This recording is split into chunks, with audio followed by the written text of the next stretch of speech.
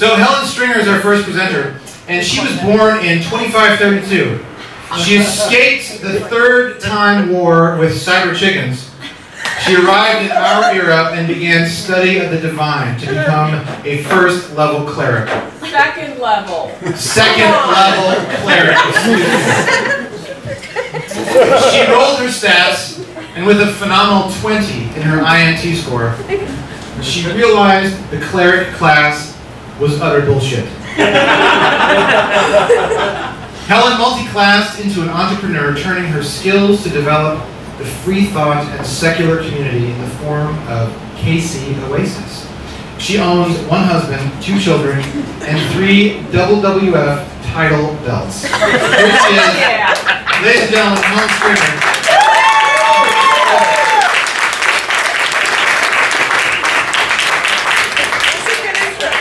That's great.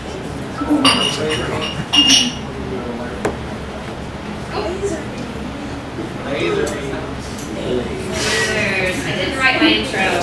So when you're part of a community like I'm going to share with you right now, you do stupid things and let people write your bios for you like that. All right, so I want you to picture with me. It's 9:30 a.m. on Sunday, and not only am I not sleeping in, but I'm 20 minutes away from my home, setting up an event space in Midtown Kansas City lining up chairs, putting out name tags, putting up signs. And I'll ask you, am I crazy? You know, one of the best benefits of being secular is that you don't have to go anywhere on Sunday. But yet, every Sunday, I'm there working on a Sunday without pay, and I absolutely love it. What I'm telling you about is Kansas City Oasis. It's an alternative to faith-based community that helps people come together, meet weekly, feature live music and featured speakers, and basically build relationship. The secular community at large is kind of like a large box of crayons scattered about. Most people are not connected, and they totally should be. We want to bring together people so we can do something beautiful, build relationships, impact the community, and empower one another. Now, I didn't plan on losing my religion. In fact, I actually went to college to be a pastor. But I'll back up a little bit to good old 1997 when, um, in the good old days of AOL Instant Messaging. Right? You guys remember this? Yes. Okay. Well, I was on AOL Instant Messenger as a 15-year-old. I used to spend hours on that, and it just so happened that my friend Leslie asked me, "Hey, have you accepted Jesus into your heart?" And I thought, well, no. And you know what she did? She walked me through the sinner's prayer over AOL instant messaging. Which means that I am a failed product of AOL evangelism. So, um, so from there, I really didn't become super serious about religion until I went to college. I got a really great scholarship at a very conservative university at North Central University. Now, one more thing I wanted to show you here because this is important. So, um, after I got this, is before I was saved. Okay, yes, me when I was 15. I'm a very brave soul to show you this, right? This is me after. So, one of the other things when I got saved when I was 15, nothing really changed. I um, pretty straight, narrow kid, not a bad kid. So this wasn't like I'm not going to do drugs or have sex anymore. I mean, I wasn't even having sex yet. It's very sad. But um, it really wasn't a big change. The reason I accepted Christ into my heart at that time, I thought it was the perfect altruistic way to live a really good life. I thought Jesus was this perfect picture of you know how to give back to the community, how to care about people, and that's why I became a Christian originally. So it was college where I really got serious. So I got a good music scholarship at North Central University, which is a conservative, fundamentalist, Assembly of God university. And like a lot of the other students there, I eventually felt called to be a pastor. Um, problem is, once I graduated with my degree in pastoral studies, my faith slowly started to break away. Um, it wasn't an event, um, and it wasn't like you know, I had some type of heart issue. Um, you hear a lot of people think that when um, you've left religion that you're hurt or you're mad and you're angry at the church. That's totally not the case. Was literally a matter of studying things and realizing, for me, for me, that it didn't hold weight anymore. So it was like ideology after ideology just slowly began to unravel. So the ironic thing is, is that although I had pretty much divorced myself of most religious beliefs, my husband and I were still hanging around the church. When we moved back to Kansas City about seven years ago, we actually knew that the best place to develop friendships was going to be the church. Now, yes, don't get me wrong, you can go to your local meetup and make friends. You could go join a sport, the Royals, um, or join an activity, um, or go on OkCupid and build relationships. But there's something to be said. Yeah, you know what I'm talking about. Who's here right now from OkCupid? You got anyone? Oh, yeah, see? Yeah. Okay, all right. So you guys can all find each other later. Um, there's something to be said about the relationships that tend to develop at churches or at religious or faith institutions. Um, there's the level of frequency. Um, there's the tendency to expect, you know, community support. Um, there's also a common shared experience, and that's something um, that you tend to only see in those kinds of communities. So to Kansas City. We started to attend the Church. We joined a small group. Small groups, if you don't know, they tend to be um, these home groups, kind of an improved Sunday school-ish kind of thing. Um, but you agree to all go to someone's house and you hang out, maybe read a book together, talk about some subject or whatever. Um, so we joined the young married but no kids at that time. Of course, we have children now. But the funny thing is, and maybe it's not funny, it's kind of cool, is that those people became our closest circle of friends. You know, we fell in love with these people. We were doing life together. It was really great. So the problem was, is that um, once we started to have kids, you know how a lot of people start going to church once they have kids, right? You know what I'm talking about. We did the opposite. We got the hell out of there. Um, we realized that we didn't want someone telling our children that they were broken or that they needed to make this really big decision about this deity when their brains weren't even developed enough to even try and reason that. So we found ourselves, you know, young family with no kids, or with kids, but no community. And then it dawned on me, why aren't we doing this on a grander scale? Why can't we do this for secular people? Why can't we create a community for families, for people to build relationships, um, to get to know one another, but without the dogma, without the ideologies? And this is why I created Kansas City Oasis. We are the city's first full alternative to faith-based community. So, religion shouldn't have a monopoly over community, and let's face it, they truly do. Furthermore, churches have dogma and are inherently exclusive, and Oasis is nothing of the sort. The church has efficiently built communities that span the globe, and we can learn from that, and we can do even better. Now, while a church has a pastor that tells you what to believe, we have speakers to create dialogue and conversation. And while a church has music for worship, we offer music as a form of art. Our goal isn't to tell people what they should think or to fill their heads with more spiritual stuff. It's to connect, elevate, and empower one another. Now, we believe that the future of secularism is in this kind of community. So every day, more of us and more people are popping their heads out of the sand and, and um, looking for like-minded people. Secular um, activist organizations tend to be where people land first because for some reason they tend to be more visible. The problem with that is, is that they don't tend to solely focus on building community. Now, we nones, the NONESs, those who don't hold any religious belief, happen to be the fastest growing demographic in the nation. So if you look at the level of uh, religiosity decline in the U.S., this is just up to 2013. And it's just staggeringly, it's dropping faster than anything they have ever seen in history.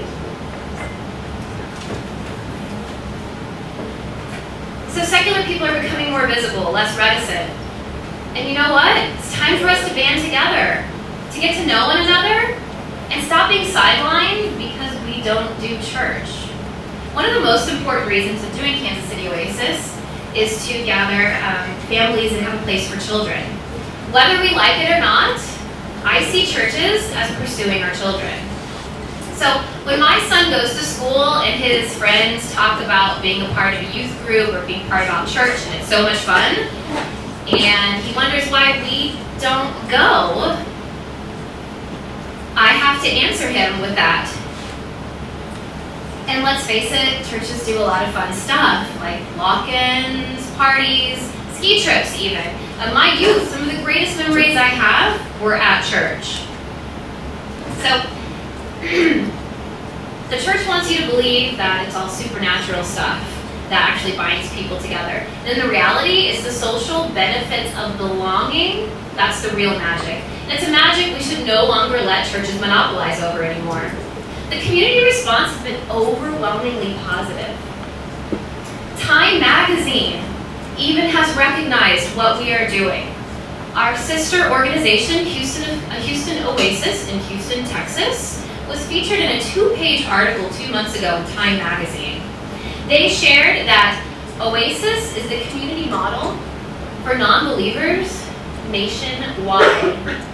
Time also recognized that secular communities can meet the needs that faith-based communities used to meet. So hear that again. Time Magazine recognized that secular organizations can meet the needs that churches used to. I think that's huge. For those of us who are secular, it should be a call to arms. We know who we are. We know who we are as humanists and how much we care about each other and the world. And it's time that we no longer just keep to ourselves. At Oasis, we have a set of values that kind of guide how we do life and how we interact with the world, and I want to share those with you today. First one, people are more important than beliefs. This one's huge because it's one of the ones that you see churches violate the most. So we aren't concerned about how your synapses fire in your head and what your decisions you know you are making or what you do and don't believe in. It's not important to us. And the reality is when you don't have people policing your thoughts, you have a better opportunity of being your true, authentic self. And when you can be your true, authentic self, you actually have a better opportunity to build really great relationships, to connect, connect with other people on a whole higher level. I would say that that one value is going to be one of the reasons that one has made us very successful and recognized internationally, but also will make us actually more effective at building community than history has ever seen before. Our second one is reality is known through reason, not scripture or revelation. The third one is meaning comes from making a difference. Last Wednesday, I attended a debate. Um, it was a secular humanism versus, um, I guess, Christian value. Which one fit reality? The question was not that great. what was really interesting, the Christians really did not, they could have done better. It was really disappointing to see them go down so badly. But um, what they said over and over again was that if you are not religious, you will have meaningless lives. We are hopeless. And they would even highlight it in their PowerPoint. I mean, they really wanted to like push it home that your life is meaningless. like, you gotta be kidding me. Um, I would say the people that I've met through Oasis and getting involved in some secular work I would say I've met people with more meaning in their lives than I did when I was in the religious circles. Um, more people who are inclined to give back and to do good and do nothing but altruistic, you know, activities and want to do nothing more than, than help their fellow man. And this is where we I can define one of the things where we get our meaning is by simply making a difference. And how we all want to make a difference looks different to all of us, which is cool. Because diversity is something to be celebrated for once, not shunned um, it makes us richer and stronger as a community because we all want to give back in different ways, and that's what we need as a community and as a culture. Human hands solve human problems, so it's you and I, not some guy in the sky necessarily, who's actually helping each other. It's us taking the initiative to actually go out and do great things and to help make the world a better place. And the last one, simply put, be accepting and be accepted. So, what do you gain by being a part of an oasis? Well, you get the opportunity to do things like this. Now, we haven't started serving alcohol yet, which I'll look into that. Um, you get to hear some really great speakers. So we offer something like a TED Talk every single Sunday. Um, for example, we've had Debbie Jackson come talk about raising her transgender child. Anyone saw see her? Um, she had a viral video out a couple months back um, that I think she spoke at Unity Temple or at Unity something like that, or All Souls, and talked about raising her um, transgender child and the challenges with that. And it was an incredible video. If you haven't ever heard it, it's worth looking up. But she was amazing. We've also had Sandra Meade, who is the state chair of Equality Kansas, come and talk. And last week, we had Nathan Phelps come talk. Now, he is the son of the late Fred Phelps, who left his father's compound at 18 years of age, and he is now an LGBT activist and also does a lot of work to end child abuse. And he was incredible as well. But we offer these speakers every single Sunday. So if you like this, you would really like Oasis. You also get the opportunity to see different musical performances. Um, we have different genres come in every single week, and really um, the options are endless. We're not restricted really by anything. So we have actually had um, a jazz band come play, full bass, violin, um, and this group actually connected at Oasis, and they actually perform around Kansas City now as a result, and they are really amazing. Um, we've had different folk and Americana singers. We had Miss Conception, she's a local spoken word artist and female rapper here in Kansas City. And we've also had Bo Bledsoe, which from what I understand, he is probably one of the best guitar players in the Midwest. And he is amazing. He played like a 12, I think this is one of them, the 12 string guitar, or Something like that. It was, it was pretty amazing. And we are so excited because this weekend we have Smith and Taylor. They're award-winning folk singers coming to play for us, and they are from Denver and Houston. So they're actually coming into Kansas City just to play at Oasis. Another thing that you gain by being part of an Oasis is the chance to give back to your community. So uh, on the fourth month, now we've only, we started in April, I didn't mention that, so we are a fairly new community that has just grown really quickly. Our fourth month, we held a blood drive. Our goal was to uh, give 20 units of blood, and we gave exactly 20 units of blood. For a young organization, they all were kind of shocked by that, the um, community blood center was. So we will be having more of those every quarter, because you can get every quarter. Another thing we did, on our third Sunday, we had Be the Match come out talk about being a bone marrow donor. And we were able to register 18 new bone marrow donors. And a lot of the people already at Oasis were already registered donors as well. So it's really cool. I would say that gives meaning to life. So to know that we are 18 people closer to getting someone the life-saving bone marrow donor that they need, that's true meaning. That's actually doing something for the world. We also serve at a domestic violence shelter. We make and serve dinner every single month. And this month, we are actually, or this Saturday, we're going to be at Habitat Restore, just helping around there as well. So um, we often have one or two volunteer opportunities every month. Now, one of the cool things about being part of an Oasis is that you get to go to things like conferences. That sounds really boring if you're in the corporate world, but it's not in the secular world. So we went up to a ApostaCon up in Omaha, Nebraska, and the keynote speaker was Neil deGrasse Tyson. And many of us, this is my husband with good old Neil. Um, Neil deGrasse Tyson, first of all, is an amazing speaker, but he's also one of the nicest, most kind people I have probably ever um, seen.